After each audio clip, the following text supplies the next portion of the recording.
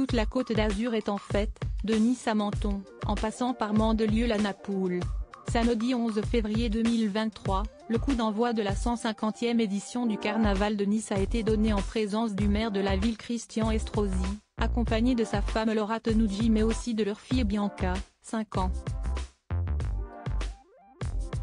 Cette année, l'événement est baptisé Roi des Trésors du Monde.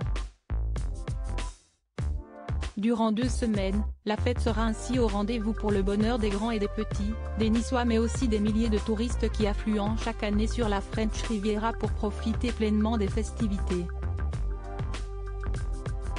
Carnaval, fête du citron à Menton et fête du mimosa à Mandelieu-la Napoule, il y en a pour tout le monde.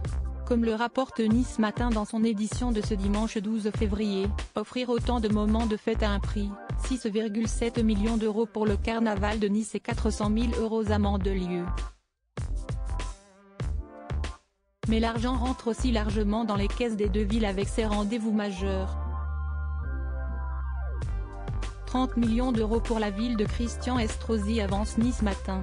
On comprend alors pourquoi l'homme politique de 67 ans avait le sourire en lançant son carnaval. Un bonheur qu'il n'a pas manqué de communiquer à sa communauté Instagram. Suivi par 59 500 abonnés, Christian Estrosi a publié plusieurs images de la journée, dont certaines accompagnées de son épouse. Vive le carnaval de Nice, les a-t-il légendés Vive le jumelage du carnaval de Nice et de Rio avec le roi Momo, a-t-il commenté ensuite sur une vidéo.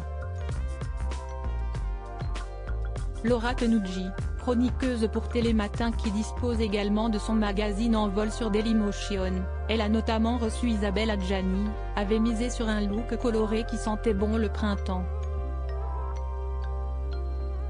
Dans une robe colorée ouverte au niveau de la taille et arborant de larges lunettes de soleil, la journaliste de 45 ans adore et déjà fait ses adieux à l'IV.